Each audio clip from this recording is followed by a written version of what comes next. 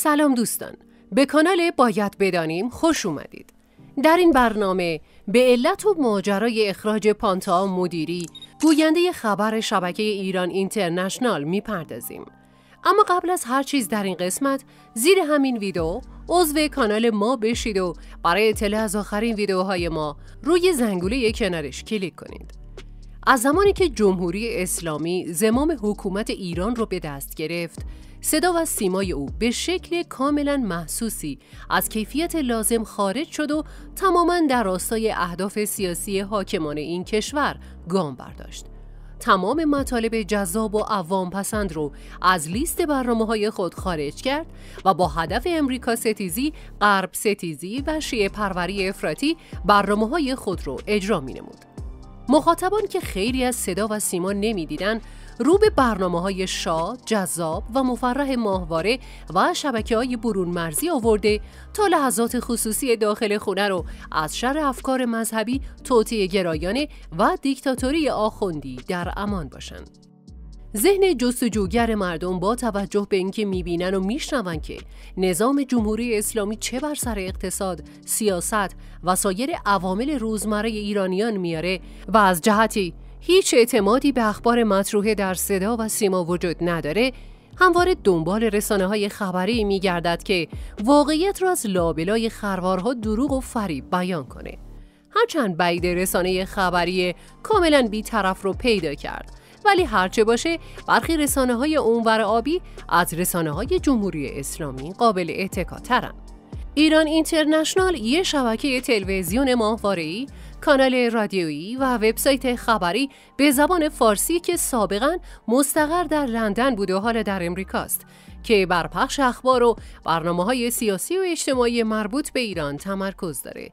این شبکه نخستین و تنها تلویزیون خبری 24 ساعته فارسی زبان در خارج از ایرانه پخش برنامه های ایران اینترنشنال از 29 اردیبهشت 1396 مصادف با دوازدهمین انتخابات ریاست جمهوری ایران آغاز شد. این شبکه با ارائه برنامه های جذاب خبری و با بکارگیری مجریان حرفه‌ای اقدام به تولید محتوای خبری می‌کنه و در همین راستا بسیاری از مردم داخل کشور به تماشای برنامه های خبری این شبکه خارجی می‌پردازند. اما این شبکه هیچگاه بدون حاشیه نبوده ارزشی ها و طرفداران حکومت دیدگاه های خود را در قالب شایعه و حاشیه همزمان با معروفتر شدن این شبکه و مجریان اون در افکار جامعه تزریق می کرد.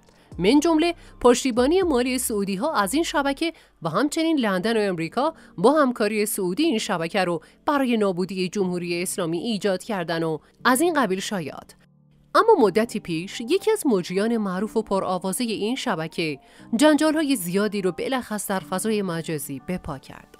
روز چهار تیر بود که با انتشار توییتی از مجریان سابق ایران اینترنشنال که سابقا در شبکه ماهواره دیگری به نام شبکه منوتو هم در بخش خبری فعالیت داشت و بسیار پرطرفدار بود توییتی رو در فضای مجازی به خاطر اندیشه و عقیده متفاوتش نوشت پانتا مدیری که قبلا هم به جهت جدایی از شبکه منوتو جنجال های فراوانی رو به همراه داشت حالا هم در پی این توییت و جدایی از شبکه ایران اینترنشنال جنجالی جدید رو ایجاد کرده. او نوشته با توجه به پرسش های اخیر دوستان من از یک سپتامبر 2023 به خاطر عقیده و اندیشم از ایران اینترنشنال جدا شدم.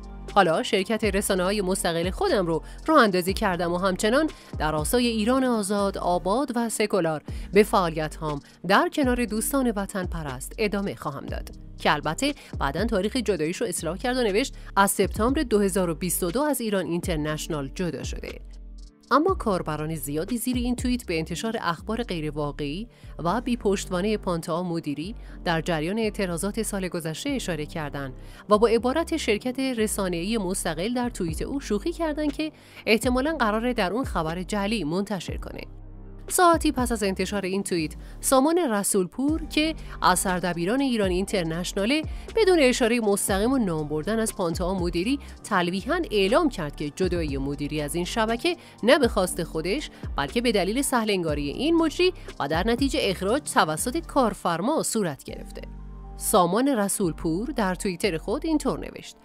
ملحق شدن و جدا شدن از هر رسانه و محیط کاری. امری حرفه‌ایه.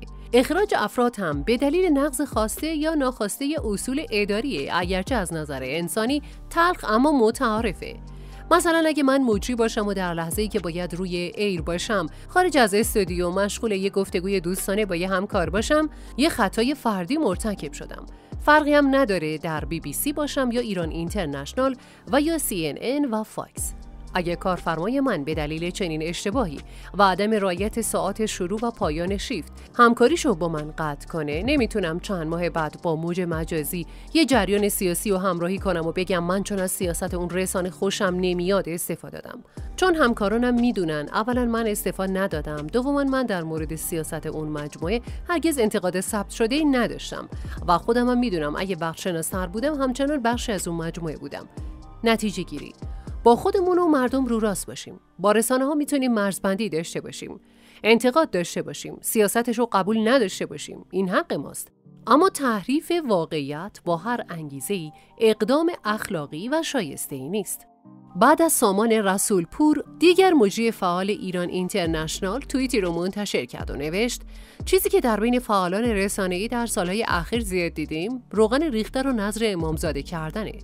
سکوت از ظروف بهتر نیست اعتباری میمونه برای کسی که کارش راست گفتنه پانتا مدیری از موفق ترین چهره های شبکه منوتو بود که شایع شد به علت مشاوره غیرقانونی در زمینه مهاجرت غیرقانونی به پرداخت 1200 پوند در دادگاه محکوم شده در کنار اون علاوه بر 1100 پوند قرامت باید 909 پوند هم بابت هزینه اتهاماتش در دادگاه پرداخت می‌کرد. او بعد از به وجود اومدن مشکلات بسیار مجبور به ترک شبکه مناتو شد و برای ادامه فعالیت کاری خود در زمینه گویندگی و مجریگری به شبکه ایران اینترنشنال رفت که در نهایت از اونا هم جدا شد.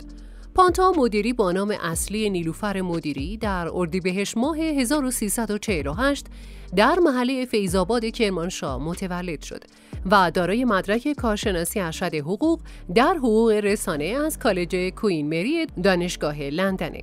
پدرش کارمند ثبت احوال کرمانشاه بود و مادرش هم تا یه سال بعد از تولد او در یکی از مدارس کرمانشاه تدریس می‌کرد.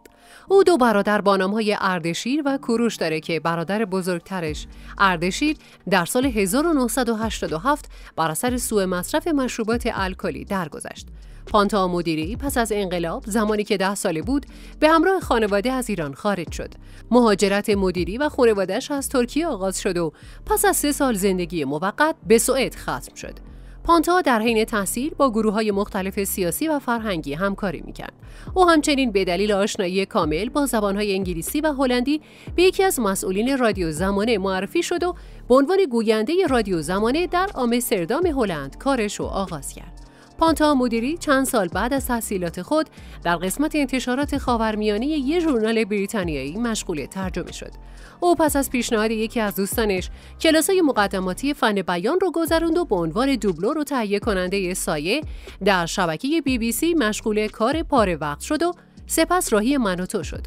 اولین اجرای حرفه او در شبکه منوتو به عنوان مجری در برنامه تونل زمان بود و پس از اون به عنوان گوینده در اتاق خبر مشغول فعالیت شد. دوستان عزیز ممنونیم که با like کردن و گذاشتن کامنت از ما حمایت می‌کنید. اگه می‌خواهید از آخرین ویدیوهای ما با خبر بشید ما رو subscribe کنید و زنگوله کنارش هم بزنید تا برنامه بعد بدرود